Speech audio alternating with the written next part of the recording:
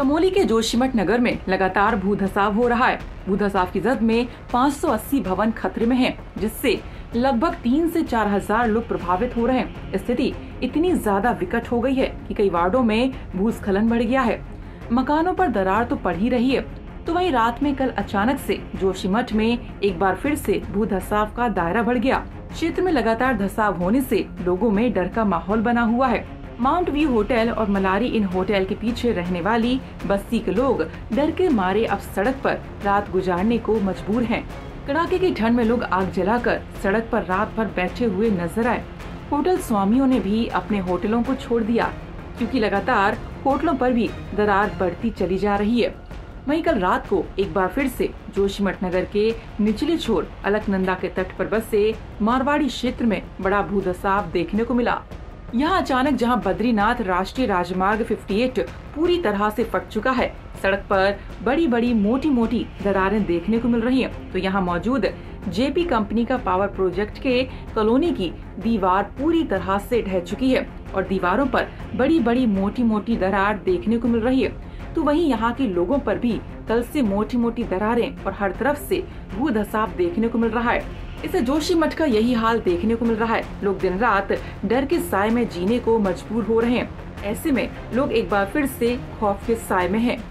जोशी मठ के मारवाड़ी में बद्रीनाथ राष्ट्रीय राजमार्ग से लगे हुए क्षेत्र में एक बार फिर से बड़ा भूत धसाव देखने को मिल रहा है। यहाँ पे देख सकते हैं, ये बद्रीनाथ राष्ट्रीय राजमार्ग अट्ठावन है, जो कल रात अचानक से यहाँ पे पूरी तरह से धस चुका है। गाड़ियाँ आर पार नहीं हो पा रही हैं, दरारें इतनी बड़ी। और इधर देख सकते हैं, जो ये यहाँ पे जल विद्युत परियोजना जयप्रकाश कंपनी का है, ये दीवार टूट चुकी है, दीवारों पे बड़ी बड़ी दरारें देखने को मिल रही है। यहाँ पे एक बार फिर से बड़े स्तर पे भू धसाव की घटना देखने को मिल रही है हर तरफ़ से बड़ी बड़ी दरारें और इधर जो मारवाड़ी का जो ये यहाँ पे यहाँ के जो लोगों के मकान हैं, घर हैं, वहाँ पे भी बड़ी दरारों की खबर कल रात से आ रही है। यहाँ पे हमारे साथ मौजूद है, यहाँ के स्थानीय लोग, इनसे जानते हैं। क्या स्थिति है? जी, आपका नाम क्या है और क्या स्थिति इस समय पे मारवाड़ी में है? जी, मैं दीपक भंडारी, यहाँ मार, मारवाड़ी वार्ड नंबर दो से। तो ये, पहले काफ़ी दिनों से ऊपर जोशीमठ से जो देखते हुए आ रहे हैं हम तो पहले वहीं की समस्या थी। धीरे धीरे ये नीचे को लेबर कैम्प से मारवाड़ी पुल तक पहुँच चुका है जिसमें ये कल से कुछ ज़्यादा ही इंच बाई इंच ज़्यादा ही फैल रहा है इधर आर। तो अब इस, इसका कारण कुछ भी हो पर खतरा हम सभी को है। कहाँ कहाँ दरार देखने को ये यहाँ पे हमारे खेत होते हुए नीचे जाता है लेबर कैम्प जाता है जेपी वालों का। वहाँ से नीचे मारवाड़ी पुल तक यही हाल है। अब ये किसी भी क्षण नीचे झड़ सकता है। जी, आपका नाम क्या है? क्या स्थिति है यहाँ पे? क्या ये अचानक से हुआ? ये दीवार कब टूटी? ये मेरा नाम पंकज रावत है। मैं मारवाड़ी वार्ड का रहने वाला हूँ। ये विगत काफ़ी टाइम से मतलब छोटी छोटी दरारें थी, बट कल रात को ये थोड़ा ज़्यादा बढ़ गई है, जिससे थोड़ा सा डर बना हुआ है। मकानों में भी दरारें आ चुकी है। जी, आपका क्या नाम है? क्या स्थिति इस समय मारवाड़ी में है? मकानों के क्या हाल है? यहाँ पे तो सब चीज़ टूट गया है। दरार बड़ी बड़ी हो गई है। हाँ जी जी, मेरा नाम दिनेश भंडारी है। मैं वार्ड नंबर दो का हूँ। यहाँ पे जो है, पहले तो छोटी छोटी दरारें थी। जोशी मठ में जो है, बहुत लंबी चौड़ी दरारें आ रखी थी। लेकिन अभी जो है, यहाँ पे कल रात से जो है, यहाँ पे बहुत भारी जो है, दरारें पड़ी है और जो है, ये नीचे, नदी तक पहुँच गई है। और जो है जगह जगह मकानों में भी दरारें हैं और हमें जो है रात दिन यहाँ डर लगा हुआ है। हम रात को रहें, रात दिन मन में डर लगा रहता है।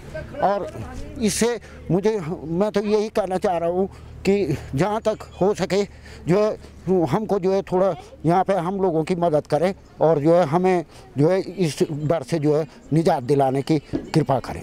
धन्यवाद। वार्ड नंबर दो जी आपका नाम क्या है? सुभाष मारोड़ी वार्ड नंबर दो। क्या स्थिति है? कितना डर लग रहा है? ये क्या अचानक डर तो लग रही मतलब क्या करे यार रात को लोग सो रहे हैं घर घर में दीवार दीवार हो जाने लगी मतलब लोग परेशान है इस लोगों से तब अब क्या बताए लोगों को फिर तब लोग जो भी हमारे यहाँ के क्षेत्र है पर हम वो है मतलब लोग बड़े बड़े लोग जो भी है मतलब वो लोग देख के सब लोगों को वही आगे बता सकते हैं इससे। धन्यवाद।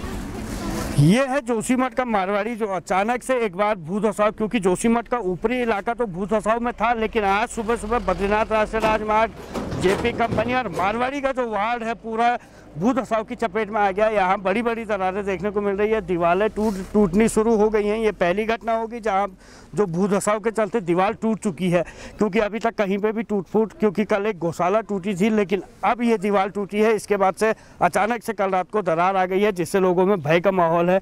हर कोई डरा हुआ है। कमल नैन सिलोड़ी, मारवाड़ी, उत्तराखंड तक। जोशीमठ के सिंगवार वार्ड इलाके के दो होटल पहले खाली करा दिए गए। वहीं कल देर रात से यहाँ आवाज़ सुनाई देने लगी तो लोगों ने यहाँ से बाहर आकर सड़कों पर ही आग जलाकर रात गुजारी।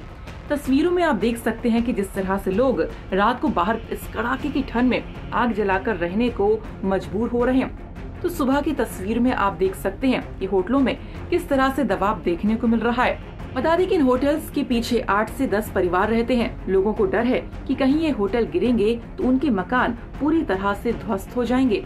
हालाँकि उन मकानों पर भी बड़ी बड़ी दरारें हैं, लेकिन लोगों में भय का माहौल लगातार बढ़ रहा है।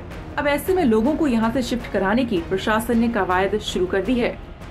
इसमें अन्य जगह से भी जैसे सूचना आई थी, जो मनोहर बाग क्षेत्र में ही, जहाँ पे लोगों के घर में थोड़ी दरारें थी, उनका थोड़ा बहुत दरारें और बढ़ने की सूचना आई है। और इसी क्रम में हमने मनोहर बाग वार्ड में ही होटल माउंट व्यू के नीचे जो पाँच परिवार रह रहे हैं जहाँ पे काफ़ी दरार आई थी उनको नगर पालिका के डॉमेट्री में शिफ्ट कर दिया है। चार परिवार वहाँ रह रहे हैं एक परिवार को खंड विकास के ऑफ़िस के पास में ही शिफ्ट किया गया है। सर देख रही हैं तो क्या इधर भी सिंह कर रहा है? जी देखिए आज आप, आपने देखा तो तहसील के भवन में भी कुछ हल्की सी दरारें दिख रही हैं।